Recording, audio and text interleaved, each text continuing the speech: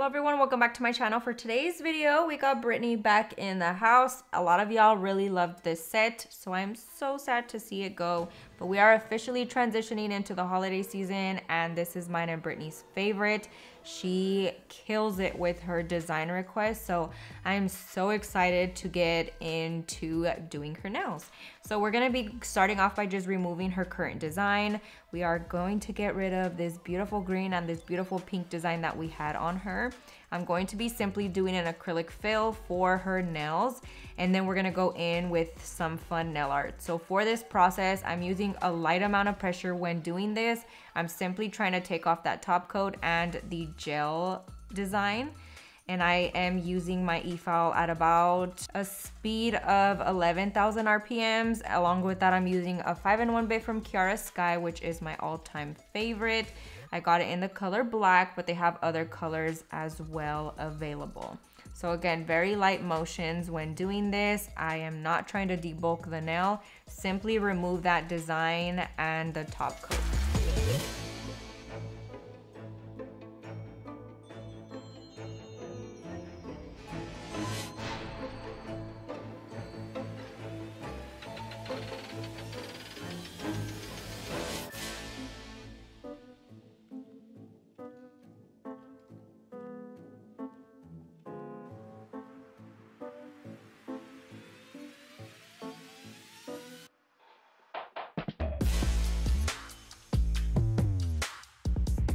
I am going to be removing her lifted areas as well. She had a little bit on her middle finger and then a smidge on her index finger as well. She ended up going way longer than we typically do between appointments because my entire household was so sick. I don't know what the heck happened, but we were all extremely sick for an entire week. So hopefully y'all are not going through the same thing because that was terrible. We are doing better now and we are thriving. We are nice and healthy we're back to work. So definitely happy to get her back in. But we're gonna go in now and prep her natural nail. I'm going to be using the small mandrel bit from Kiara Sky. It is definitely one of my go-to nails and I'm using a medium grit sanding band with that. I'm just gonna be focusing on that cuticle area, making sure that I fully remove all the rested lifted area and prepping her nail by simply just buffing off that shine from her natural nail. Very, very light motion. I have my e-file at a speed of 4,000 RPMs be extra careful with this. And if you have been following the journey of me doing her nails, or if you are new, she had a little mishap with a possible allergic reaction in the past. We have now gotten that under control. Quick little update if you haven't seen yet we switched her products to HEMA-free primer and HEMA-free monomer, and that seemed to do the trick. Her cuticles are no longer inflamed, but we are still avoiding that cuticle work just to be safe. So I am just gonna be focusing on her natural nail.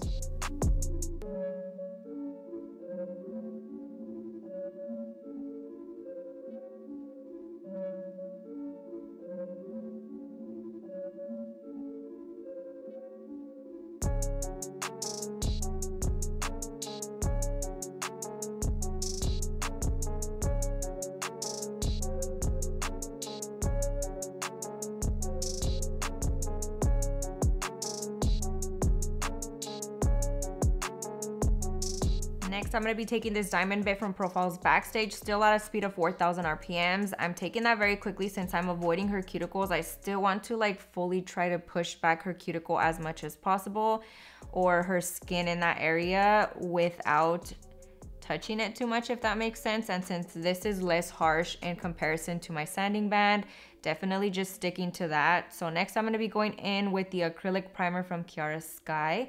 And I'm just going to be focusing on placing that on the grown out areas. And pretty much this has done a huge difference with her reaction to the products that I was using. So if you notice your cuticles are getting a little bit of a reaction, definitely try to switch to HEMA-free products before it's too late.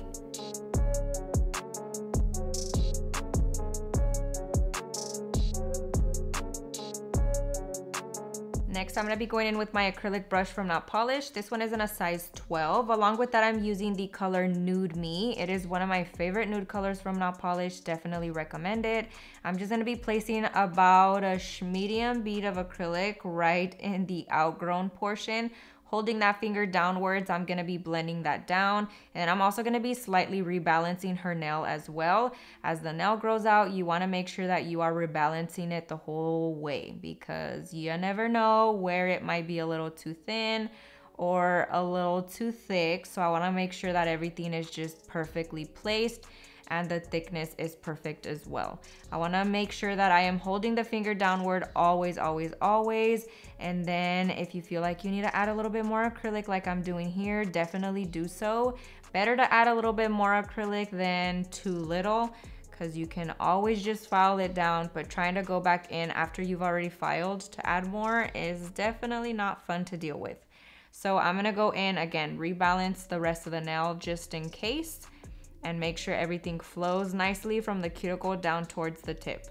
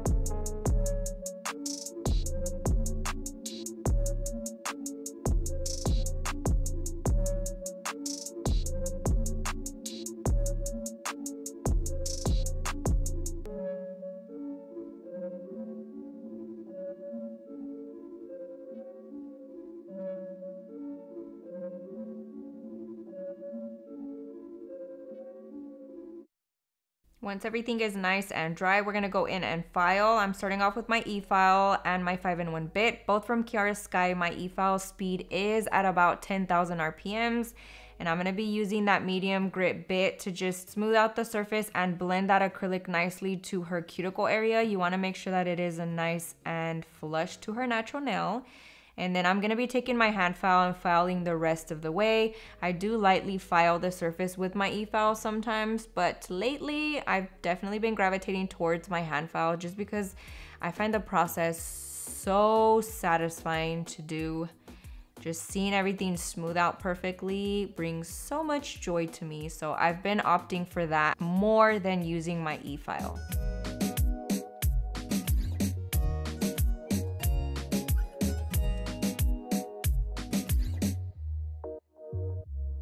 I'm taking my hand file and we're gonna be filing those sides, making sure everything is nice and crisp. And then I'm gonna directly after that go into the surface of the nail. And I just feel like it allows me to get everything a lot smoother, especially with longer nails.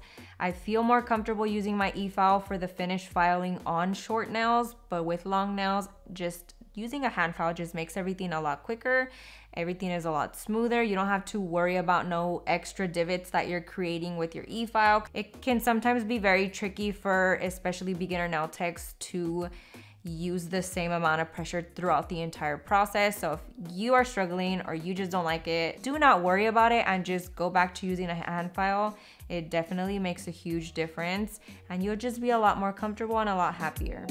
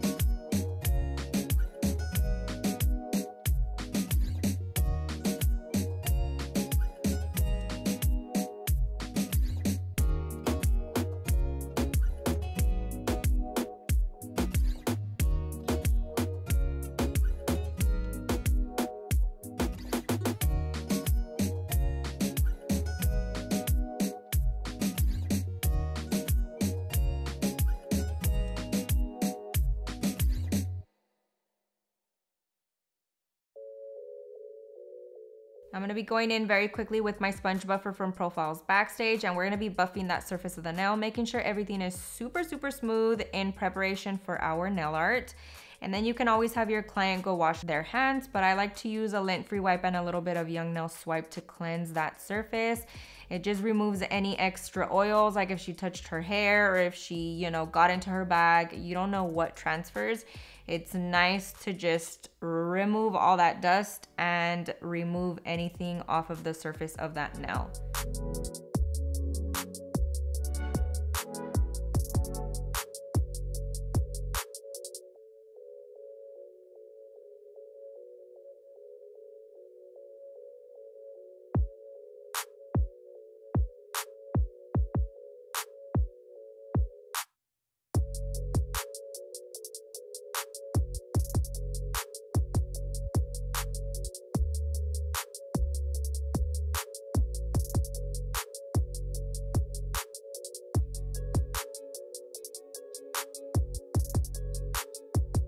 Now your girl completely bypassed the fact that she wanted two nails black. So I know this is like a very rare scene event on my channel because I do use a lot more colored acrylic than anything, honestly. But we're just gonna have to settle and use some gel polish for those nails. Did I cringe while I was doing it? Definitely, but the smooth application of that gel polish just looked so good. So I couldn't even be mad. Next, I'm taking the short liner from Veeda Bella and I'm actually gonna be making sure that that cuticle area is nice and perfect. So I am placing that gel polish a little bit further out and then I'm just going all the way up towards the skin with my liner brush. That way I don't have to worry about getting the gel polish on the skin because if you've ever worked with dark colors such as black, red, or anything like that, it stains so easily. So I wanna make sure that I avoid it and I don't have to do extra amount of cleaning.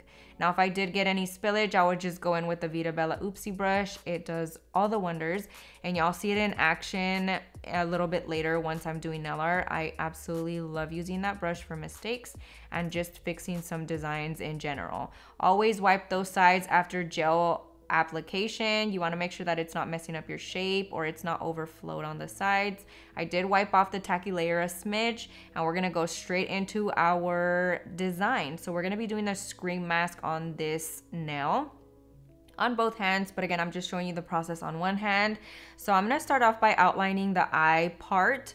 And I find that just easier, especially when I'm gonna be doing designs with like a full color on the rest of it doing the outline of one of the bigger things on the nail art just makes a huge difference to me. If you struggle with nail art, definitely find ways to kind of simplify the design to make your life a little bit easier. I've been kind of experimenting with that process myself just to see what works better for me. Sometimes outlining works better depending on the design, but then sometimes color blocking just works and makes more sense to me. So really just mess around with the process for this one specifically. I thought it would be a lot easier to just go in and outline the black portion of the design and then infill the rest as I went and it just went a lot smoother that way. So you see me kind of outlining the nose part and then the mouth part as well. And then we're just gonna infill the rest and it just made it so much easier. I am using the short liner from Veeda Bella for this process and for most of the nail art, it has double side so it has one side a little bit shorter and the other side a little bit longer. And it's just such a good brush to use for really any nail art. The bristles are super thin as well so if you wanted to do outlines or little tiny details you can achieve that easily with this brush as well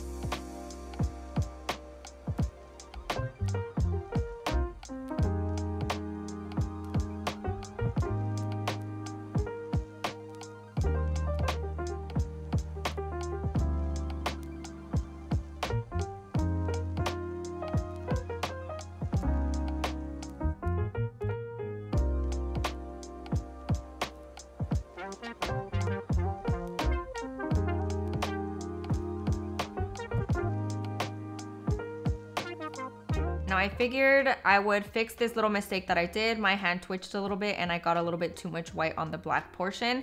And then I also decided to make that area a little bit bigger just because I felt like it would just make a little bit more sense. I'm using the pointy end from the Oopsie brush from Veeda Bella and we're just gonna use a little bit of Young Nail swipe on it, like the smallest amount, just enough to like be able to carve that out and not oversaturate it. So do note that it is a very small amount. Next, we're gonna be going on to the ring finger and I'm gonna be doing another mask. This time we're gonna be doing the full outline and then outlining the eye and just simply infilling the rest of that. And then we're gonna go in with the black details. This just makes more sense than trying to go around every single little dot that you have to create. So again, always just mess around with your process and whatever feels better, do that.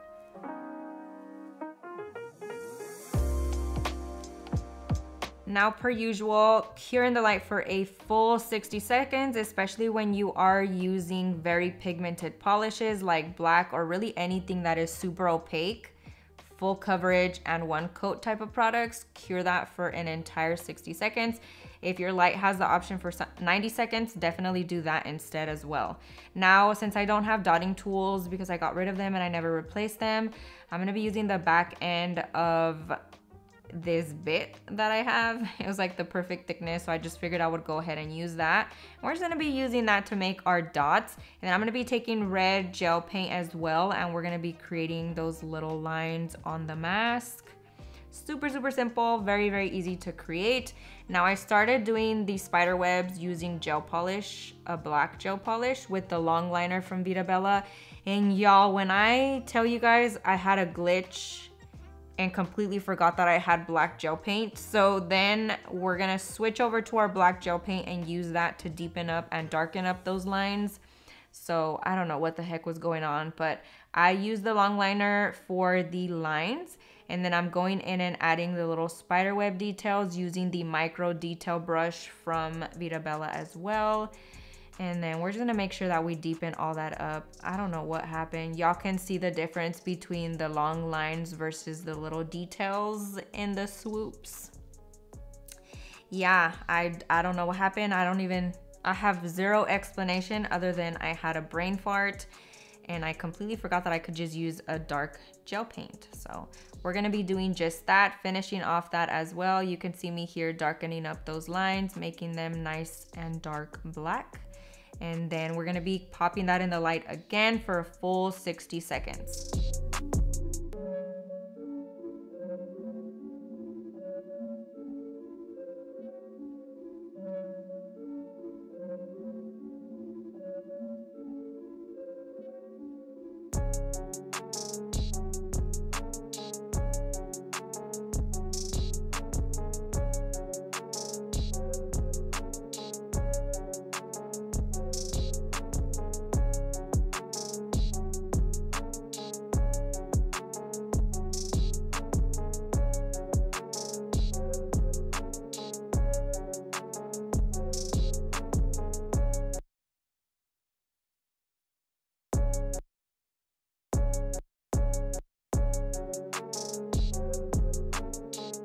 Then for these accent nails, I ended up doing spider webs on the pinky, middle finger, and the thumb. We're gonna be adding some blood splatter to that, which I feel like just brought everything together and it looked so good. We're using the deep red jelly polish from Profiles Backstage. And I'm pretty much just like wiggling my brush on there randomly to create those blood splatters. I cringe at the thought of blowing the paint onto her fingers. So I just prefer this method. I feel like it looks good. Maybe it could look a little bit better, but it does a job and I'm not throwing spit all over her nails. So it's just my preference. I took the black gel jelly polish from Profiles Backstage as well and added a little bit of shading around the eye part just to add some texture to that mask. Pop that in the light for full 60 seconds. Now I'm going in with a stain resistant top coat from Young Nails. We're gonna protect her nails and the design. She does smoke, so wanna make sure that the stains that she gets on her nails are minimal to none. So I'm just lathering that on, making sure I fully saturate those nails. And then right before you cure, always wipe those sides and cure for a full 60 seconds.